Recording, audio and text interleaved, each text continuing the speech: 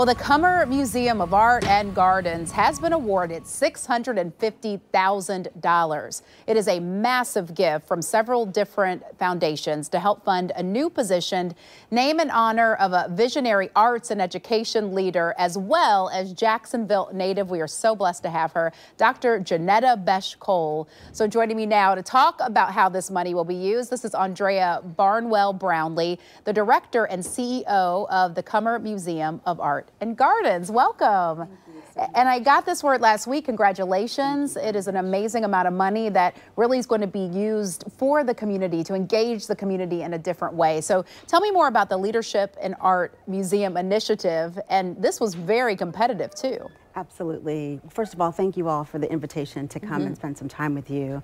But we're so pleased and so privileged that organizations and foundations like the Ford Foundation, the Mellon Foundation, and Alice L. Walton Foundation saw fit to give the Cummer Museum of Art and Gardens one of 19 awards to celebrate an incredible, incredible opportunity in the field of museums. So we're excited that we will name this very important position after Dr. Cole. Yeah, let's talk about Dr. Cole. She's truly an icon, past president of two colleges, former director of the Smithsonian Inter Institution, Institution's National Museum of African Art. So why name the position after her? I mean, that's obvious. And what is the goal? What will you do with this new position? Sure, well, her name is really synonymous with excellence. It's synonymous with Jacksonville mm -hmm. and how privileged we are that she has has decided to retire in her hometown and living at American Beach.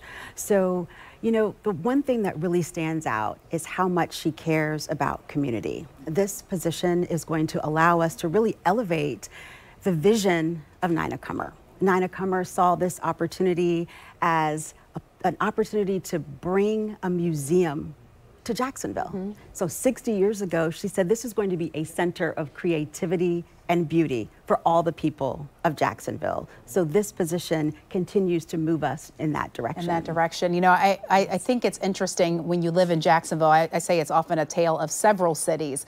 You know, you have the beach right there, but then you have people who will never make it there in their entire lifetime, even though it's like right at their fingertips. And then you have people who will never go to a museum and it's right down the road from them.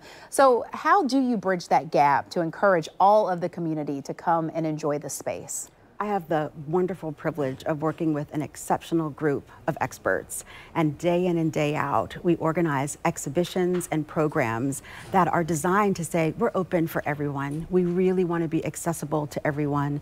The Board of Trustees feels the same way. Certainly, uh, my predecessors felt the same way. And we're going to continue to beat that drum to make sure that the community knows that this is indeed your community, your museum. Right. And tell right now you have a really fun exhibit going on on. Tell me about it.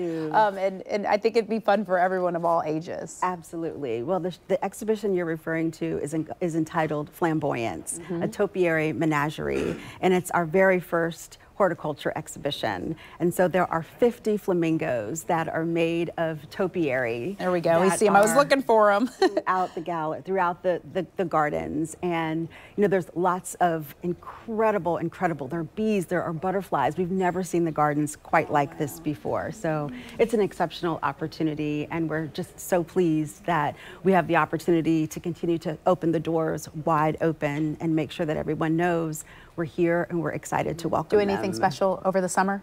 Anything going on? Absolutely. Yeah. Summer at the Cummer is right yes. around the corner, and we're great. so pleased. Our friends at PNC Bank have been sponsoring this for several summers, and it's an opportunity to hear music, to spend time in the gardens, to have picnics, certainly to spend time in our galleries, exceptional galleries all the time. And it's every so, Friday, right? Every Friday. Every Friday. Every Don't Friday. miss it. Don't miss I, it. I missed it the past couple times, so I'm going to make it there. Thank you for coming in. and congratulations. Thank and can't you. wait to see how this money Thank really you. pours back into the community. Thank you.